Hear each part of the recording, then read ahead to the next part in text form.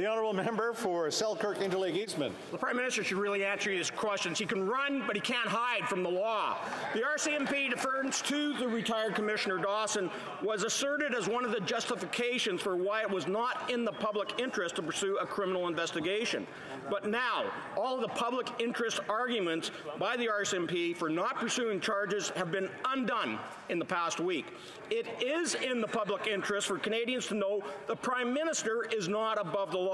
So will the Prime Minister and his staff cooperate with the RCMP in this investigation of fraud on the government by the Prime Minister?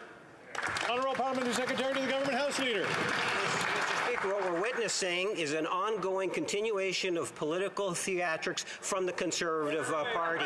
You know, three leaders ago they were talking about this, uh, Mr. Speaker. At the end of the day, as I've pointed out in the previous questions, is that they can continue. They can do what they want with their focus. What I can assure Canadians, uh, Mr. Speaker, is that this government, whether it's the Prime Minister, other cabinet ministers, or the Liberal caucus a whole, as a whole, will continue to focus our attention on making life better for all Canadians in every region of this nation.